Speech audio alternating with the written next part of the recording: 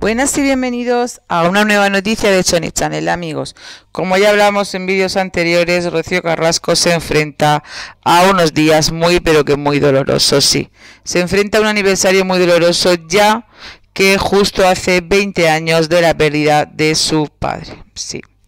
El, miércoles, el pasado miércoles 27 de enero se cumplía nada más y nada menos que dos décadas de la fulminante, como sabemos, el fulminante adiós de Pedro Carrasco y parece que a pesar, a partir de ese momento fue cuando comenzó el declive de Rocío. La verdad es que es muy fácil recordar esas imágenes donde veíamos a una Rocío totalmente desbastada, a una Rocío rota de dolor, a una Rocío que no podía aguantar más, ni un minuto, ni un, una pizca de dolor más. La veíamos también, por supuesto, al lado de Fidel.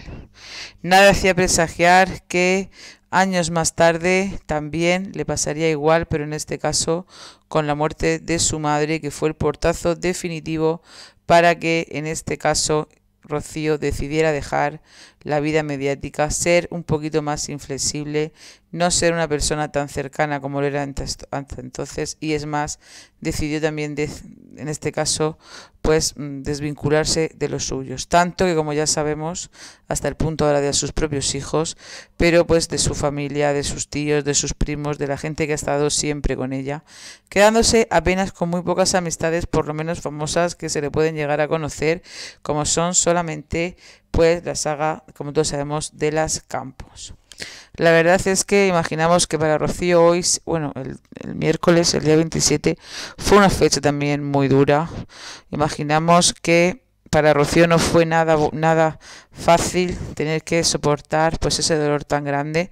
Sabemos que tenía un amor, un respeto, una admiración por su padre.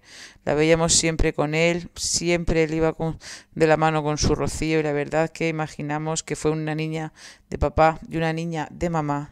Y imaginamos que también eso serán cosas que ahora le estarán influyendo. Aunque esto es lo que a veces no nos hace entender, que habiendo sido una niña tan querida por sus padres, le cueste tanto el poder estar, o no, o no le cueste tanto, mejor dicho, el poder estar tan lejos de sus hijos. Y nosotros, como ya sabéis, siempre aquí en Sony Channel agradecemos vuestros comentarios y nos encantaría saber qué es lo que piensas. Gracias por confiar en nuestro canal Sony Channel, tu diario rosa.